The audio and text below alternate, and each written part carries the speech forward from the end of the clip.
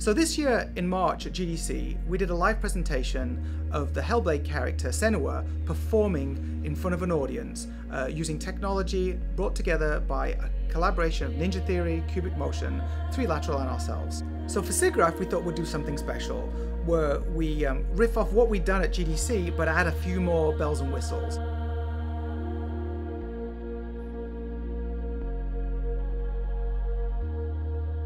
We're here at SIGGRAPH to demo a new process that we've been working on. What if you could shoot CG scenes as easily and intuitively as you could live action?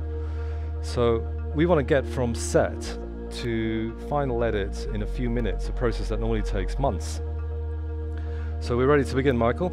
Yep, all set. Mel, are you ready? Effect is good, facial is good. And four, three, two, one, action.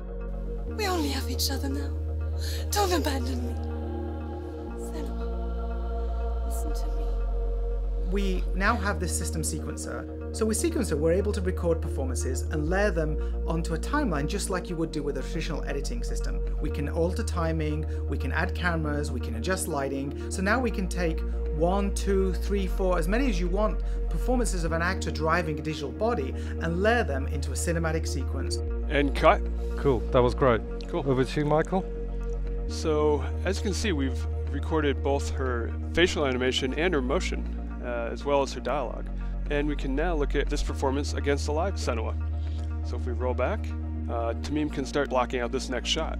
Okay, so let's get her going, walking through the mirror again. So Mel, can you step forwards a few steps? And if you, Michael, if you scrub backwards and forwards with Yep. the mirror Uh, image. sure. Zoom in here.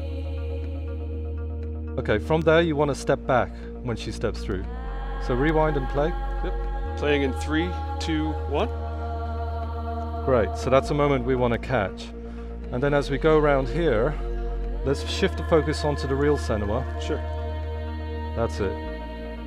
And play. Look back. Perfect. Okay, we're all set up then, Mike. All right. Set up for part B. And Mel, you ready? Effect is good. Action. Yakov, there's nothing to go back to. We only have each other now. Don't abandon me. In the 20th century, entertainment was defined by the camera and film. Today, we have a new revolution happening that is fueled by game engine technology. It allows us to work in a way that is much more akin to live action production than traditional digital production. Unlike traditional previs where the representation of set is very um, you know, very crude, rough and ready.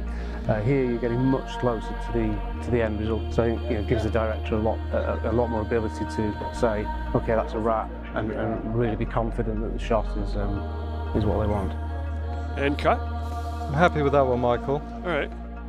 So now that we've uh, done this part, we can take a look at how the performances we just captured work in the overall piece. In the last take, we recorded both the camera, her facial animation, as well as her body animation. Don't leave So me. if, when she drops to her knees, we're going to actually swing this shot in. And this shot was something we created in our cinematic department, but we'll be using the body motion from what we just shot. So this process we're calling real-time cinematography allows you to see every detail of the scene in real time, face, voice, atmospherics, VFX, lighting, everything. You can do anything. You could, you know, you could basically put an audience in the middle of, you know, Disney's Fantasia. It's, it's crazy what you're going to be able to do. Play back in three, two, one.